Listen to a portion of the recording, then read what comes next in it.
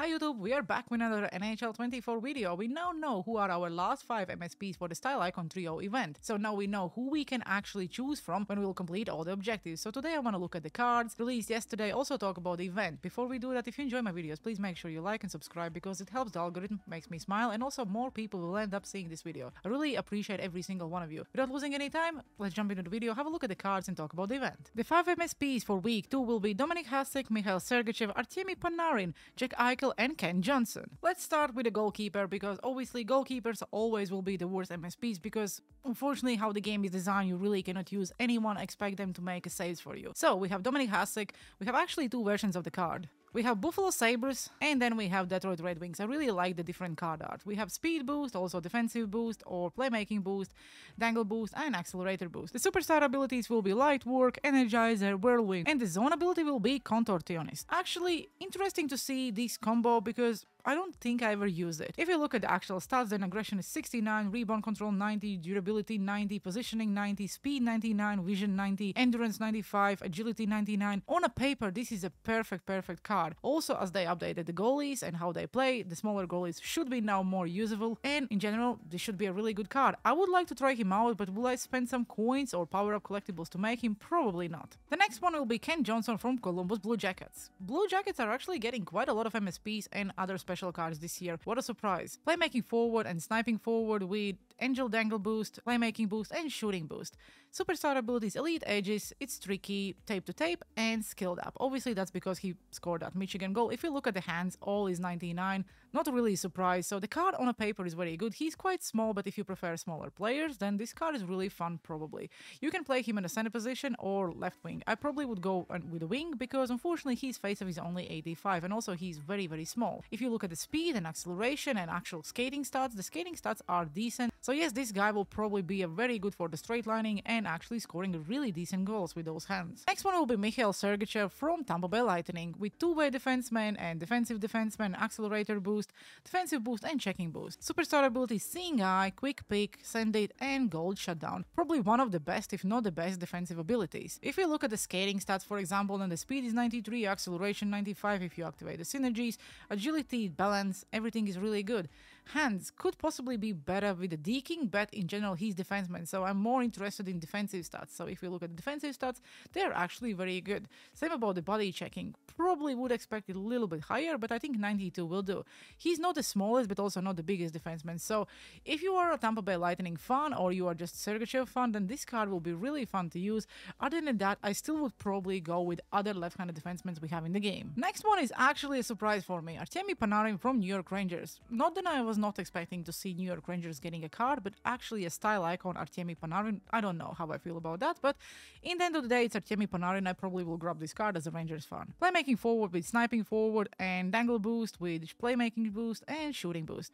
Superstar ability is Tape to Tape, Unstoppable Force and 1T, with Zone ability Elite Edge is really really fun. So let's say you activate Unstoppable Force and Elite Edges, this card will be fun. And I would personally activate that 1T as well because he scores a lot of one-timers from the point. If you look at the stats, then the hands are all about 98, pretty much 99. The shooting is also very very good. If you look at the skating stats, I think this is one of the best Artemi Panarin cards at the 93 overall range I actually saw because he have 90 endurance, he have 95 balance, 99 agility, acceleration 94, and speed 94. I know he's small, but like just the skating stats and shooting stats and hands look very, very good. So if you really want to try a usable Artemi Panarin card, then this is the card you need to pick up. Okay, not a secret, then Jack Eichel is the number one choice for this week because his custom strides are just different and this card always will play different.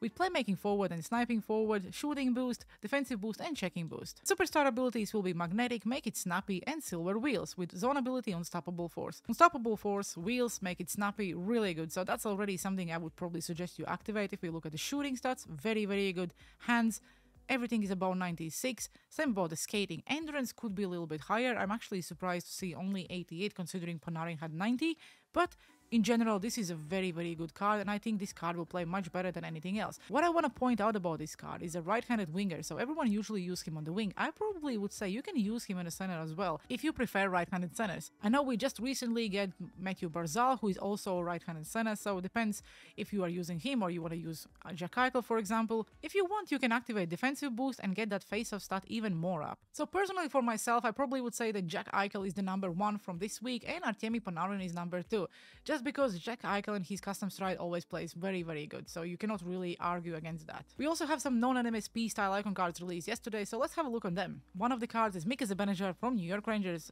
This is the actual style icon, sniping forward, playmaking forward, dangle boost with defensive boost, so if you want you can get the face-off stuffs up a little bit. The superstar abilities is 1T, puck on string, beauty backhand and zone ability is elite edges. Really fun card, I probably would use him on the wing even if you activate let's say defensive boost, you can get that face-off stat up, but I still think then as a winger he's much much better. Shooting stat at 90 is already good, hands are also good, maybe the endurance could be higher, but we're talking about only a 90 overall card. Let's say if you compare Mika Zibanejad endurance and let's say Jack Eichel 93 MSP, then Mika Zibanejad is a really really fun card. We also have Milan Hejduk as a right-handed winger, there is a lot of right-handed wingers recently, Born Leader, Puck on String and Snipe. If you activate the basic synergies you can also choose Dangle boost, but I probably would go with shooting boost. The hands are decent, shooting is decent. Skating stats also not bad. For an 89 card is really good. Another interesting card look at is Hartnell from Philadelphia Flyers, just because he's a left-handed winger and we didn't really have a lot of them. So make it snappy, close quarters, Bakatia and unstoppable force. The 90 overall, this card is really good. If you activate shooting boost, you can look at the shooting stats. Everything is about 95. Acceleration and speed 93, agility 90, balance 92, endurance 87. Same about the hands. Hands are really, really good at the 90 overall. We also received an 87 Nick Anthropo card a really good budget center, in my opinion, left-handed center, to be honest, because the face-off stats are 90 without any synergies activated, superstar ability, close quarters, and unstoppable forces zone ability. He's really, really big, as obviously you know, and in general, this is a very, very good budget card. If you're still grinding those objectives, I would suggest you pick this card up. We also had Matt Dumba and Christopher Tanev. Also for the Pens fans, we have Chris Letang at 88 overall with two-way defenseman and checking boost. With elite edges, heat seeker and zone ability shutdown. Really good 88 overall Chris Letang card you can actually use because if you look at the checking, the body checking is 92, strength is 92, the skating stats are good, shooting stats are decent and hands are also very good. One thing I like about this event is because it gave us so many different cards to choose from. Not only then it will be fun to grind those objectives because there's a lot of fun cards to try out, also those cards are not expensive because unfortunately the auction house is pretty much broken from day one, I would say. Okay, not maybe from day one, but after the team of the year, the auction house just went down and the cards are so cheap. So basically the MSPs are going for around 300k and if you don't want to grind for the objectives, if you don't want to waste your power up collectibles, you can just save, buy one and just use in your team and then sell it if you don't like it after. I think 93 overall MSP for around 300k is a really good value. As every other week, we also have 5 new moments. So we have Kent Johnson moment where you can get a mini pack, 3 gold players and 2000 coins. We also have Jack Eichel moment, style icon collectible, 2 gold players and 2000 coins. We have another Artemi Panarin style icon moment where you can get a style icon collectible, 2 gold players and 2000 coins. Same about the Sergachev moment, mini pack, 3 gold players and 2000 coins. And Dominik Hasek where you get premium pack and all you have to do is just win a game playing as a goalie. So if you would ask me who would I choose out of my free pack when I will grind all the objectives, the answer is quite simple. If you're looking for a center, I would go with Jack Eichel because you can use him on a center position and also on the wing. If you're looking for the right-handed winger, then I would probably go with Artemi Panarin because we just don't have a lot of good Artemi Panarin cards, and I have a feeling that card will play very good. If you're looking for a left-handed winger, I would still go with Svechnikov because the feedback from the community is incredible. Apparently, Svechnikov card plays really, really good. I personally didn't try him out. I didn't try any of these cards out, but if you look at the paper, those would be my three choices I would pick. Again, in the end of the day, you have to choose your favorite player or player from your favorite team. So ignore whatever you find online, just use the players you like. With that being said, let me know down in the comment section below who will you choose as your free MSP? Are you actually grinding the objectives and what do you think about the event in general? Have a good one and see you guys!